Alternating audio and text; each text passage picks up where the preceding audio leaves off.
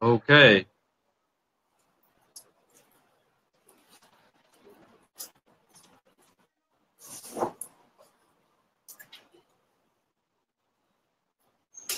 Dobra, jeszcze momencik, aż to się dobrze załaduje.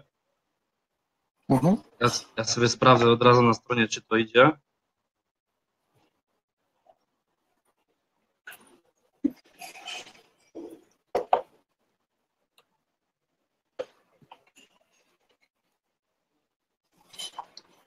Dobra, chyba jesteśmy live, ok.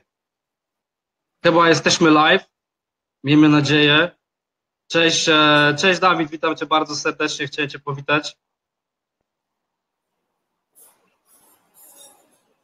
Halo Cześć, Dawid. witam. Cześć, cześć, cześć. Słuchajcie, wi- witam Was bardzo serdecznie na dzisiejszym live. Mamy specjalnego gościa dzisiaj e, z Krakowa, Dawid Bagiński, Dawid Bagiński Show. Jak e, dla mnie jeden z, e, jedna z osób, która naprawdę robi świetną robotę, jeśli chodzi o social, social media w, e, w tym momencie i e, o reklamę na Facebooku. Dawid jest po prostu wszędzie.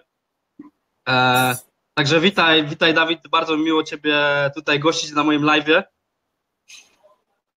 Witam również wszystkich, którzy są na live i serdecznie dziękuję za zaproszenie. E, Nie ma za co. Słuchaj, Dawid, e, mam takie, takie pytanie, czy można nazwać Ciebie ekspertem od social media, tak? Masz kanał na YouTubie, 3400 ponad e, su- subscribersów, na Facebooku ponad e, 45 tysięcy polubień. Czy, czy możesz się tak nazwać takim ekspertem? Powiedz mi. Mm, Jeżeli definicją eksperta jest osoba, która wie więcej niż 95-98% innych osób, korzystających z danej dziedziny bądź z danego narzędzia, to ja jestem jedną z takich osób, która rzeczywiście, jeżeli chodzi o poziom kompetencji w ostatnich latach, zeszedłem bardzo wysoko i wgryzłem się w tematy szczególnie płatnych działań promocyjnych, jak i budowania społeczności więcej niż przeciętna osoba, co wskazują moje efekty finansowe oraz biznesowe, które noszę. Jeżeli to jest definicją eksperta, to tak, można powiedzieć, że jestem ekspertem. Okej, okej, super, świetnie. Wiesz co, e, widzę, widzę, widzę Twoje działania, e, jesteś praktycznie wszędzie, Twoje reklamy widać wszędzie, jest to pewnie związane też z remarketingiem i tak dalej. Jeżeli, e, jeżeli wiadomo, followujemy kogoś, to, to później, jeśli dobrze zbudowana kampania jest mark- remarketingowa, to widać Cię wszędzie, więc, więc to, to wszystko działa, ja za Tobą podążam i jestem naprawdę pod mega wrażeniem. A chciałbym Ciebie zapytać o Twoje początki. Skąd w ogóle pomysł na ten biznes? Jaki, jest, jaki jest Twój cel generalnie? Czy masz taki end goal, można powiedzieć, jeśli chodzi o Twój biznes? Mm, Jakie były moje początki? Moje początki polegały na tym, że ja przede wszystkim chciałem w życiu ogarniać dużo, że jeżeli popatrzysz sobie na życie większości ludzi, to ludzie chcą tyle, tak? To jest standard życia. Ja chcę tyle. To jest mój Mhm. standard. I to jest tylko przez pryzmat mnie indywidualnie, tak? Mhm. Nie, nie porównuję się w żaden sposób z innymi, to jest po prostu coś, do czego ja dążę. E, Okej. I w perspektywie czasu, gdzie ja pochodzę z małej wioski Grądowoniecko, gdzie tam jest 700-800 mieszkańców, jest zakład karny, to tam nie ma za bardzo perspektyw, tak? Mnie nikt nie nauczył przedsiębiorczości, nikt mnie nie nauczył zarabiania pieniędzy, nie miałem dobrych wzorców wyniesionych od rodziców, chociaż są wspaniałymi ludźmi i ja zauważyłem po prostu w sobie bardzo dużo braków w momencie, gdy przeprowadziłem się do Wrocławia na studia i zacząłem nadrabiać te braki. Zacząłem nadrabiać je ciężką pracą, e, Mhm. staraniem się więcej od innych i tak w perspektywie czasu okazało się, że zaczynam być dobry w wielu tematach. I jednym z takich tematów był na początku rozwój osobisty, później kolejnymi tematami to były tematy różne biznesowe, którymi po drodze się zajmowałem i Okej. tak naprawdę wokół biznesu, marketingu internetowego czy rozwoju to krążyłem już przez dłuższy czas, tak? Wykonywałem projekty i w pewnym momencie zauważyłem, że zarówno na rynku y, marketingu internetowego, jak i biznesu internetowego jest bardzo duża luka, bo y, znani są w Polsce ci, którzy zaczynali jako pierwsi, tak? Mhm. Jeżeli popatrzymy sobie przez pryzmat tych osób, które są takie obecnie najbardziej znane, to jest tych osób na palcach jednej ręki można policzyć. I zobacz, nie trudno jest stać się w perspektywie siedmiu lat najlepszy, skoro nie ma konkurencji, tak? I zauważyłem, że to jest bardzo dobry moment dla mnie w zeszłym roku, początek 2016 roku, żeby rzeczywiście zająć się marketingiem poważnie. I ja po prostu wiedziałem, co mam zrobić, i po prostu wszedłem, mhm. zająłem się tym na poważnie, zastosowałem kompetencje, które zdobywałem przez ostatni czas i e, dlatego te projekty się udają. Tak? I teraz, co jest moją główną motywacją? To jest przede okay. wszystkim to, żebym ja sam nauczył się robić wiele biznesów na dużej skali. Fajne jest to, że na przykład w zeszłym roku oprócz projektu Dawid Biliński.com zacząłem też cztery inne biznesy swoje i jeden zacząłem e, w trzecim kwartale 2016 roku, drugi biznes zacząłem w grudniu 2016 roku, w październiku tego roku te dwa biznesy przekroczyły na przykład milion sprzedaży. Tak? E, I, i te umiejętności mega. biznesowe, budowanie zespołu, to jest coś, co mnie motywuje, bo chciałbym spróbować się, nie wiem, czy mi się uda, może się uda, może nie, biznes jest zawsze nieprzewidywalny, ale chciałbym spróbować osiągnąć rzeczywiście E, sprzedaż roczną na poziomie w tym momencie około 10 milionów złotych, tak do tego dążę. E, to okay. jest moje prywatne wyzwanie. To stoi ponad tym. Jeżeli chodzi o agencję marketingową czy cały projekt dawidberliński.com, to moją motywacją jest przede wszystkim e, sprawić, żeby polscy przedsiębiorcy zrozumieli, z czego składa się biznes, że jest to szereg różnych klocków, różnych elementów, które należy poukładać i my nie mamy dobrych szkół biznesowych. Zauważ, że wielu Polaków, takich ekspertów, oni chcą się dzielić wiedzą, ale takim mam skrawkiem, tak? By, no dokładnie, dokładnie.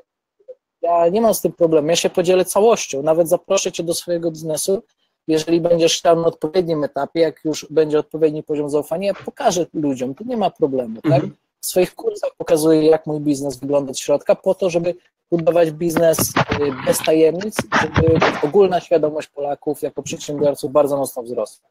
No e, jest jeszcze jedna motywacja, taka osobista, ja chcę dotrzeć do 5 milionów Polaków i zobaczyć, okay. czy można rzeczywiście zmienić e, te nasze sceptyczne nastawienie na takie pozytywne i, i to mnie bardzo motywuje. Okej, okay, no, no właśnie, większość, e, większość Polaków tak naprawdę, jeśli chodzi o tutaj typowo o, o biznes, o rozpoczynanie biznesu, każdy jest, każdy jest mądry i każdy wie najlepiej, tak?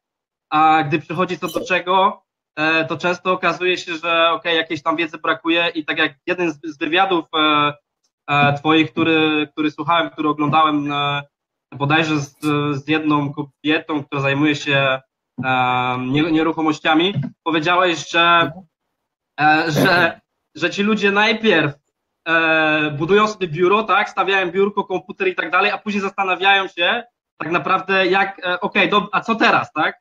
a tak naprawdę powinieneś, powinieneś zrobić ten reverse engineering, tak? Czyli zacząć od tej drugiej strony, tak naprawdę, czyli zastanowić się najpierw, ok, kim będą twoi klienci, co ty będziesz tak naprawdę robił, jaka będzie twoja strategia, jakie masz narzędzia na ten moment, jakich narzędzi powinieneś um, potrzebować do tego, żeby, żeby zacząć dalej działać, tak? Czyli to jest jakby główny twój cel, żeby uświadomić, uświadamiać całą rzeszę Polaków, jak to, powin, jak to powinno się robić prawidłowo, zgadza się?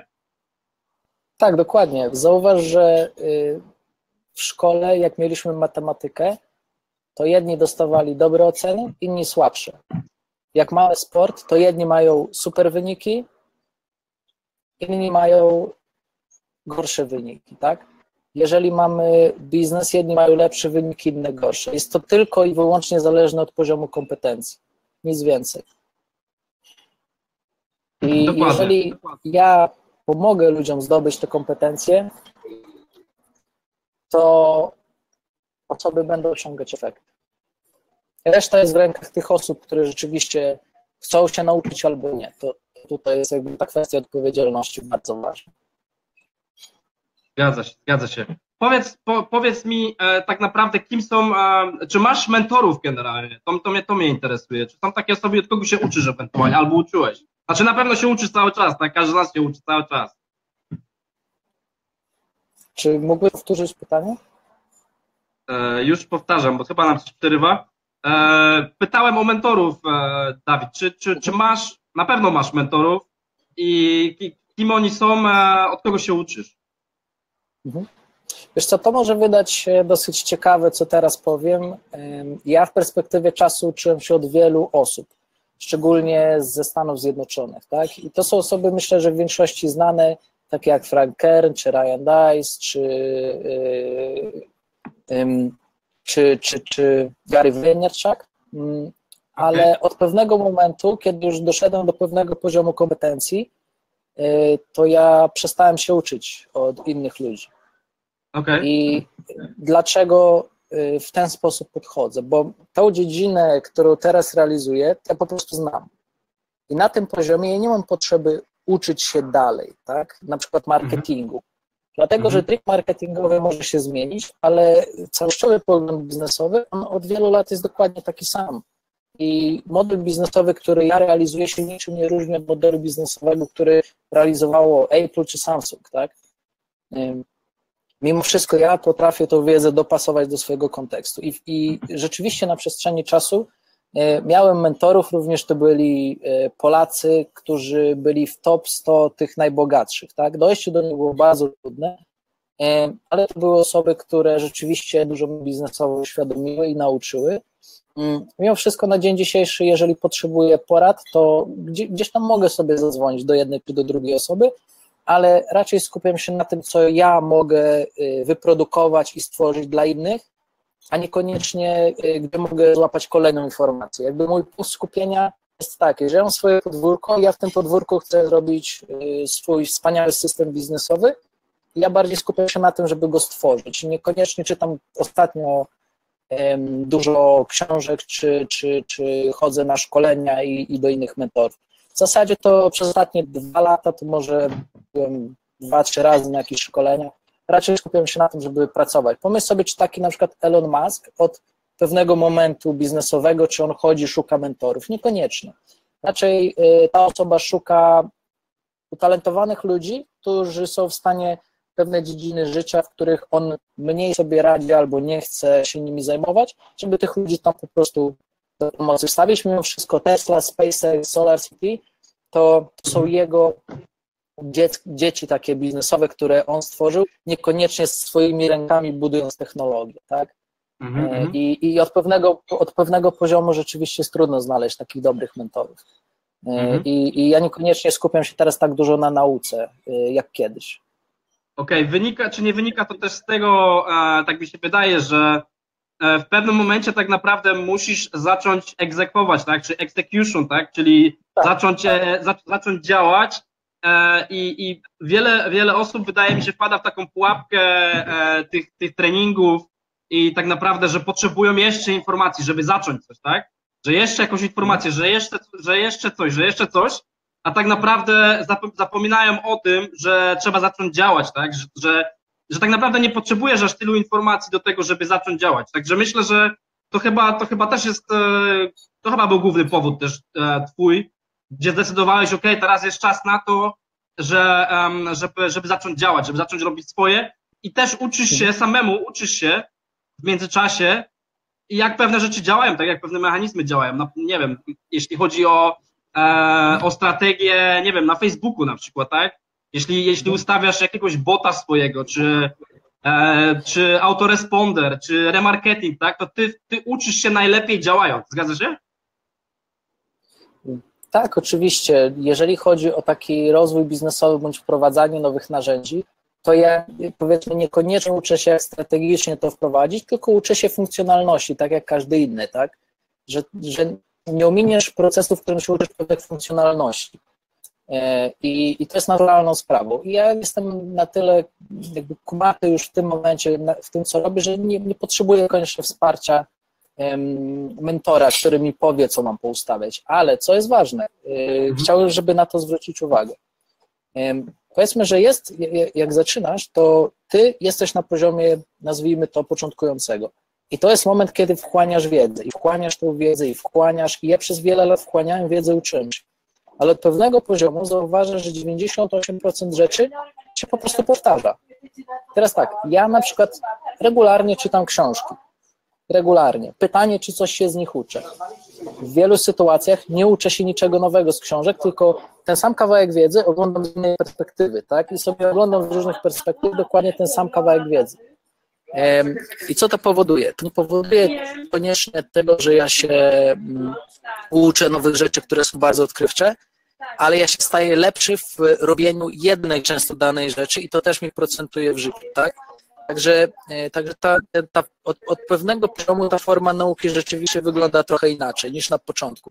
Tak samo zobacz, jak idziemy na siłownię, jesteśmy początkujący, to nasz trening wygląda skrajnie inaczej niż u osoby, która ma 10 lat doświadczenia na siłowni. Ona ciśnie zupełnie inaczej. Ona ma inne zasady działania, tak? To, to podobnie jest tutaj, że, że, że te dziedziny życia one się jeżeli chodzi o ten proces rozwoju, nie, nie różnią jakoś dużo. Ale co jest fajne, że zobacz, jak ja się nauczyłem robić reklamę, marketing, nawiązywanie relacji, sprzedaż i całościowo biznes, to ja mogę te kompetencje przerzucić na różne inne dziedziny. Ja się nie muszę koniecznie tego uczyć po raz kolejny na nowo, tak? bo to już jest kompetencja jak jazda na rowerze. Od pewnego momentu, jak umiesz jeździć na rowerze, to umiesz. Okej, okay, okej. Okay. Eee, Zgadzam, to zgadzam wszystko się. trzeba zgadzam, pamiętać, zgadzam że, że, wymagało to bardzo dużo pracy ode mnie przez wiele lat, prawda?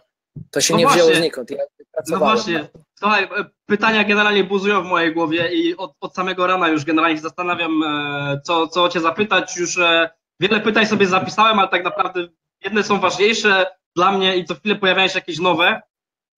I jedno z nich jest właśnie takie, dlatego że akurat mnie ludzie często postrzegają jako osobę, która idzie do przodu i jest zmotywowana i jest pozytywnie nastawiona do życia. Powiedz mi, jak ty byś, jak ty byś, jak, jak ty się motywujesz, co, co ciebie motywuje i generalnie e, wiele osób, tak, boi się zacząć generalnie swój własny biznes, czy boi się iść za ciosem, boi się iść za swoimi marzeniami.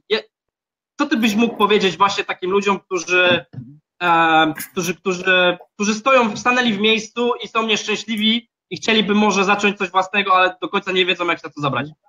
Co byś ty doradził ze, ze swojej strony?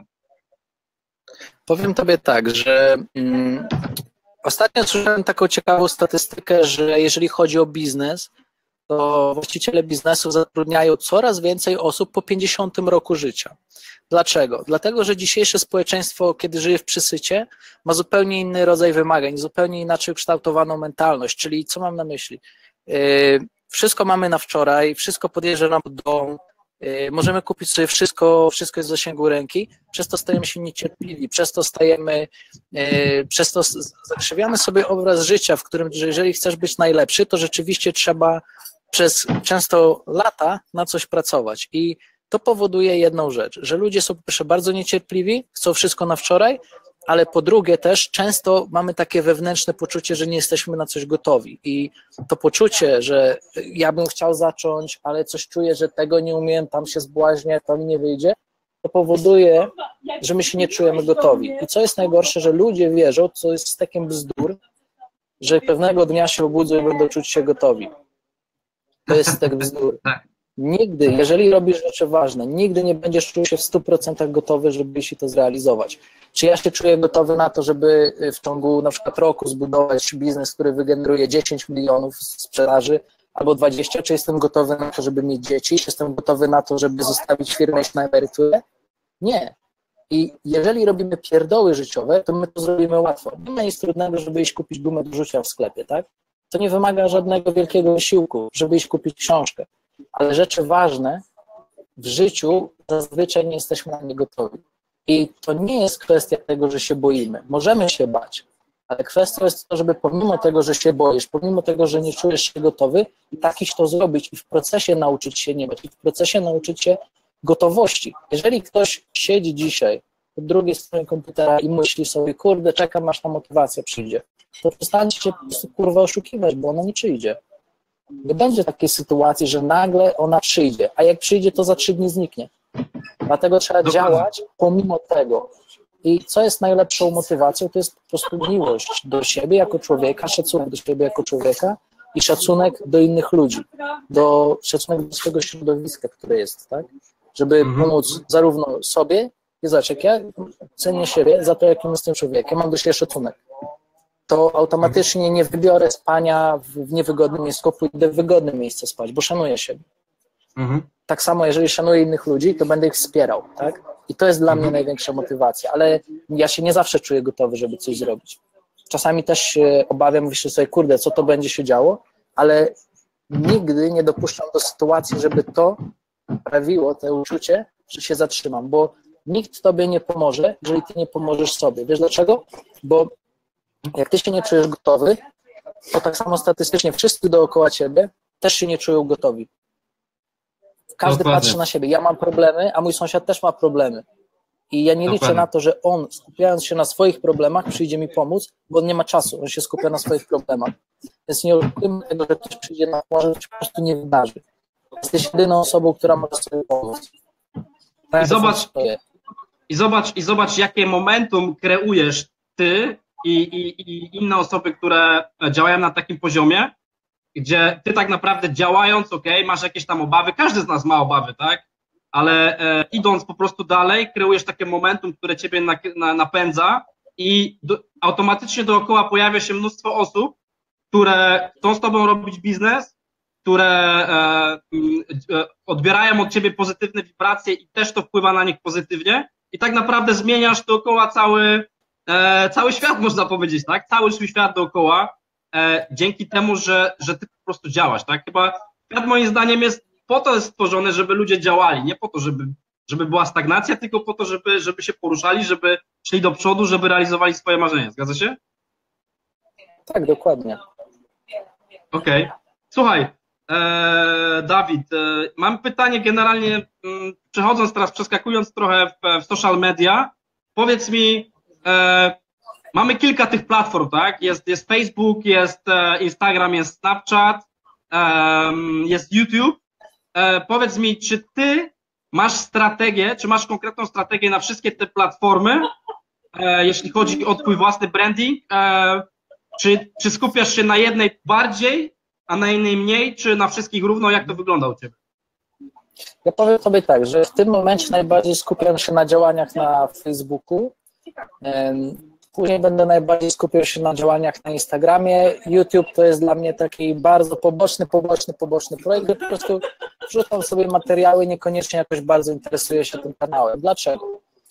E, dlatego, że kiedy zaczynasz biznes, e, to my mamy taką chęć, że się weźmiemy za YouTube'a, za Instagram, za Facebooka, za, e, za pozycjonowanie, za roznoszenie ulotek, ale ponad 100 lat badań nad startupami pokazało jedną bardzo szokującą statystykę.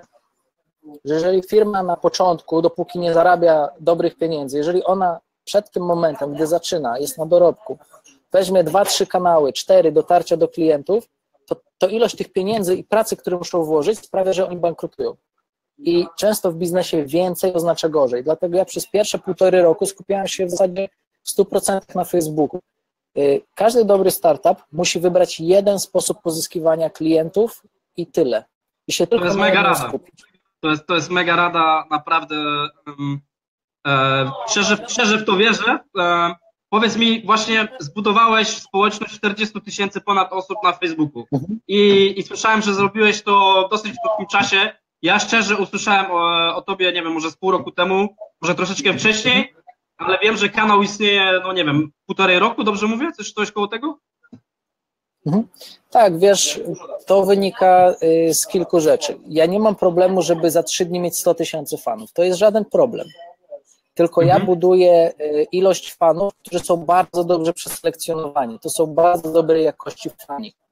Okej, okay. targetowanie. Większość ludzi, bo większość ludzi y, kupuje sobie fanów jak najwięcej, żeby mieć dużo.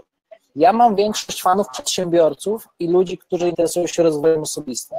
To są ludzie, którzy bardzo dobrze pasują do mnie i są w stanie e, tą całą moją ideę ponieść dalej. Więc ja stawiam bardzo mocno na jakość i też jest jeszcze jeden ważny aspekt budowania mi się nie spieszy budować fanpage i, i czy będę miał dzisiaj te 45 tysięcy czy 70 tysięcy, to jest dla mnie kwestia drugorzędna. Ja się zawsze staram tak budować ten fanpage, żebym ja miał wystarczającą ilość zleceń, czyli żeby moja firma miała tak dużo zleceń, że my mamy na pula wyprzedane, bo jeżeli mój fanpage rośnie szybciej, gdybym ja dzisiaj swój fanpage rozwijał szybciej, to bym nie stał w soboty i w niedzielę po nocach, bo bym miał tak dużo pracy. Czyli ten wzrost mojego fanpage'a jest uzależniony od tego, jak dużo jestem w stanie przerobić pracy dla moich klientów. Więc, więc z tymi metodami, które ja robię, to naprawdę nie ma problemu, żeby zrobić i 200 tysięcy fanów, i 100 tysięcy fanów. Problem jest taki, że później nie ma kto dla tych ludzi pomaga, bo ich jest za dużo. Więc moje martwienie niekoniecznie jest takie, czy ja zmienię 100 tysięcy fanów, Tylko moje zmartwienie jest takie, czy ja dla tych wszystkich ludzi jestem w stanie pomóc, którzy się do mnie zgłaszają regularnie. Ja zawsze dopasowuję wzrost swojego kanału do, do tego, jak dużo tych osób przychodzi.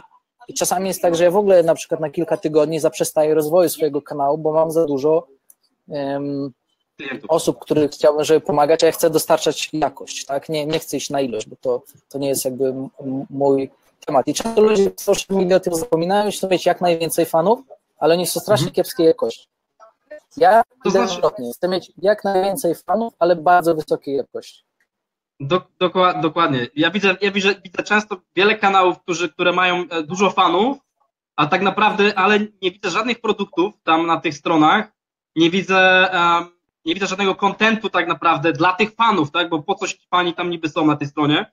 I, i ja, ja to patrzę i po prostu jestem załamany, mówię, what a waste. Co za strata po prostu, co za strata strony, co za strata biznesu, tak? E, a powiedz mi, jak, e, od czego to się tak naprawdę zaczęło, jeśli chodzi o twój kanał na Facebooku? Co było takim, co było takim pierwszym, że tak powiem, nie wiem, czy wrzuciłeś jakiś film, czy wrzuciłeś jakiś, zacząłeś wrzucać jakieś posty? Skąd się zaczęli ci pierwsi ludzie pojawiać? Jaki, jaka była twoja pierwsza myśl? Czy, czy, czy, jak ty chciałeś zacząć pozyskiwać tych, tych, tych wiernych fanów właśnie do ciebie na, na kanał i, i czy był taki moment przełomowy, gdzie nagle tych ludzi zaczęło się pojawiać coraz więcej? Taki efekt kul śnieżnej.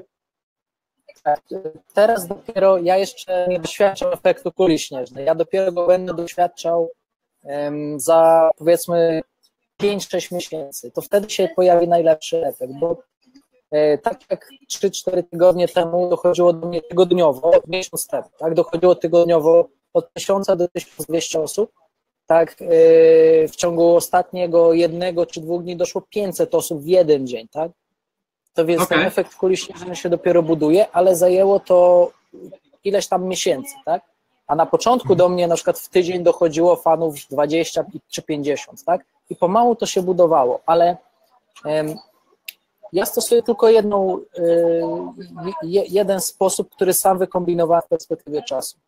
Ja wrzucam nagranie wideo mhm. albo wartościowe treści na fanpage mhm. i ja cały czas w swoim biznesie poza fanpage'em, tak, w zupełnie innych miejscach podejmuję działania reklamowe i ludzie przychodzą do mojego biznesu y, w mhm. różnych miejscach i czasami oni polajkują mój film albo moje, mój artykuł, go udostępnią, y, ludzie wrócą, tak, inni polubią i później, jeżeli najedziesz sobie na taki film, to tam jest ilość ludzi, którzy polubili. Jak sobie w to klikniesz, to mhm. się rozwinie cała lista ludzi, którzy lubili i ty ich możesz zaprosić do polubienia swojego fanpage'a. A następnie ten człowiek dostaje powiadomienie, że na przykład Dawid Bagiński zaprosił cię do polubienia swojego fanpage'a i on wchodzi na twój fanpage i może sam zdecydować, czy on by chciał zostać twoim fanem. Ja to nazywam trzyetapowa weryfikacja. Pierwszy etap jest taki, że osoba widziała moją treść i jej się podobało, bo polajkowała. Drugi etap jest taki, że osoba wie, kim ja jestem. Czyli jak ja ją zapraszam ponownie na mój fanpage, to ona wie, kim ja jestem. I po trzecie, ona podejmuje sama świadomy wybór, że chce zostać moim fanem. I ja tylko stosuję po jedną metodę. I w momencie, kiedy ja daję treści, obok tego robię różne działania reklamowe, ale nigdy nie promuję na polubienia, nigdy nie promuję fanpage, żeby zapraszać fanów, tylko ja chcę mieć fanów, którzy sami do mnie przyszli. I co jest ciekawe, że, że to jest fanpage, który od początku jest budowany pod trzyetapową weryfikacją, że ludzie sami świadomie dołączają to, co mi świadomy fakt, jeżeli ktoś wie, kim jestem, lubi mnie i chce się ode mnie uczyć, to wtedy to jest najlepsze grono odbiorców. A po co mi ludzie, którzy nie wiedzą, kim jestem albo mnie nie lubią, tak? To jest bez sensu. Dlatego ja bardzo mocno selekcjonuję tą jakość i, i, i to sprawia, że później to się rzeczywiście przekłada na fajne wyniki finansowe. Zgadza się, zgadza się. Zgadzam się w 100%, czyli ci prawdziwi fani, czyli ci, ci prawdziwi, którzy, którzy po prostu są zainteresowani tematem. A powiedz mi, jeszcze tak. wracając do tej strategii, czy e, nie wiem, używasz jakiejś strategii, ok, dwa posty w poniedziałek, dwa w środę, tego typu rzeczy, czy, czy, czy raczej robisz to na flow, mm, czy, czy masz jakiś system e, autorski, którego używasz do, do publikowania treści generalnie? Tak, tutaj jak najbardziej wszystko jest przemyślane i zawsze zależało to od czasu. Y, rok temu, czy 8 miesięcy temu, ja miałem mniej czasu dlatego publikowałem, robiłem dwa wpisy w tygodniu, tak? I te dwa wpisy były uzależnione od tego, że nie miałem czasu, tak? I sobie regularnie robiłem dwa wpisy w tygodniu. Teraz jestem w stanie tych wpisów robić dużo więcej. Część wpisów wrzucam starszych też do fanpage'a, więc robię pewien recykling treści dla nowych ludzi. Więc mogę wrzucać tych wpisów 5, 6, 7 w tygodniu, nie ma problemu, tak? E, I czy ja je planuję? Tak, ja, ja na przykład w tym momencie mam zaplanowane posty do końca tego miesiąca. Czyli ja sobie planuję wpisy na 2-3 tygodnie do przodu. E, ja je przygotowuję w dokumencie już z dużym wyprzedzeniem, po prostu one są później tylko publikowane. E, okay. I zdecydowanie, zdecydowanie prowadzę. Wiesz, to wszystko mam zaplanowane w Excelu. Czyli w Excelu mam wypisany tytuł wiadomości, w drugiej kolumnie mam, czy to jest wideo, czy to jest artykuł, czy to jest jakaś motywacja, czy to jest jakiś obrazek, tak? Czy używasz jakichś narzędzi do, do, do, do, do udostępniania tych treści, czy robisz raczej to samemu? Nie, nie korzystam z żadnych y, dodatkowych narzędzi. Jest to tylko Excel, w którym jest po prostu wypisane, co ja w poszczególnych dniach będę wrzucał. Okej, okay, super, super. E, I to, to moim zdaniem odróżnia osoby, które e, osiągają sukces, a te, które po prostu marzą o tym, tak? Jedni mają listę w Excelu po prostu, gdzie mają wypisany cały plan działania, tak? Według niego się poruszają i konsekwentnie go realizują, a, a cała reszta po prostu marzy o tym, czy myśli o tym, jak to zrobić. E, mam takie pytanie jeszcze odnośnie, e, odnośnie klientów e, właśnie, którzy chcieliby budować swoje biznesy e, na Facebooku, swoje strony, generować sprzedaż, tak, generalnie przez Facebooka.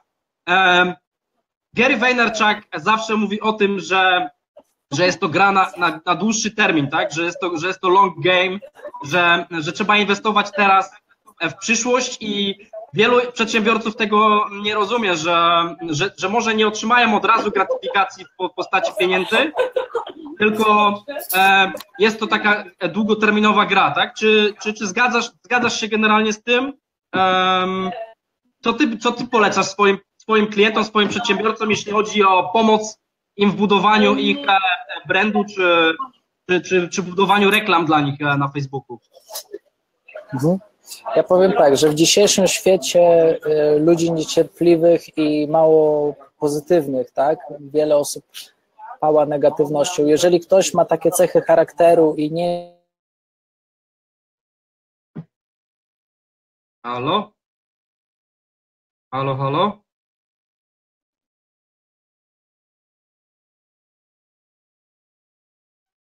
Halo, halo? Coś się tutaj przerwało nam połączenie.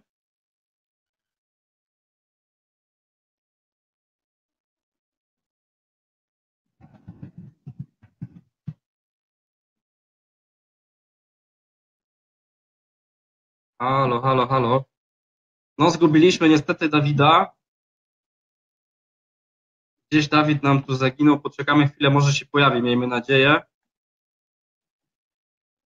A może tylko ja go nie słyszę.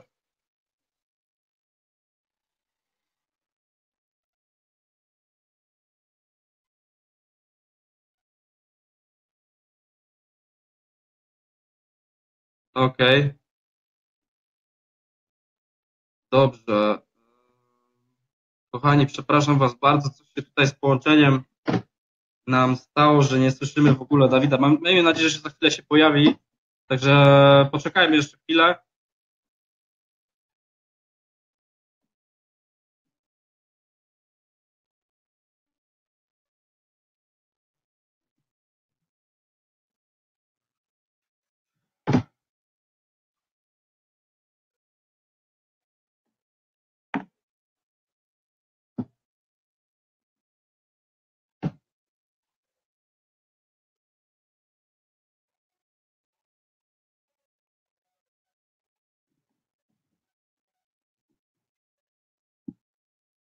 Kochani, e, Dawid nam zniknął, być może za chwilę się pojawi, e, ale nie wiem, czy to nastąpi, dlatego e, postaram się ten wywiad dokończyć samemu. Teraz już nie będzie to wywiad, tylko monolog, ale chciałbym wam, Was bardzo zachęcić do tego, abyście znaleźli Dawida, jeśli Was interesuje temat social media Facebooka, żebyście znaleźli Dawida. W social media. Dawid Bagiński był naszym gościem, Dawid, Dawid Bagiński Show. Um, Także jeśli, jeśli interesuje Was temat social media, chcielibyście budować swój własny, własny brand w internecie, potrzebujecie pomocy, Dawid ma e, mega szkolenia. E, na jego stronie dawidbagiński.com e, możecie, możecie znaleźć jego szkolenia stacjonarne. One są w większości miast w Polsce tak naprawdę. Bodajże nawet teraz właśnie w Krakowie Dawid przeprowadzi szkolenie i dlatego w przerwie znalazł czas tutaj na wywiad ze mną. Także jeśli tylko macie ochotę, zapraszam Was bardzo serdecznie. E, nie wiem, czy się Dawid pojawi, chyba się już nie pojawi, niestety. E, coś nam przerwało połączenie. E, próbuję w każdym razie Dawida dorwać jeszcze raz w najbliższej przyszłości i, i zrobić, zrobić coś, coś jeszcze raz. Może dokończyć ten wywiad wspólnie. Póki co, dzięki Wam za, za oglądanie dzisiaj. Jeśli interesował Was ten temat, proszę Was, udostępnijcie koniecznie tego live'a, polajkujcie, skomentujcie, e, koniecznie udostępnijcie swoim znajomym, których e, może zmotywuje ten wywiad do tego, żeby zacząć działać. E, jeśli ktoś ma własny biznes i jeszcze go nie ma w internecie, to robi wielki błąd, więc może, mm, może ten wywiad zmotywuje go do tego, żeby, żeby zacząć sprzedawać, żeby zacząć budować własny brand, własny wizerunek w internecie. Ja nazywam się Wojciech Kevin Markwiak, e, nadaję kanał Kevin Markwiak e, na Facebooku, e, także dziękuję za dzisiaj i do zobaczenia, pozdrawiam Was serdecznie, trzymajcie się.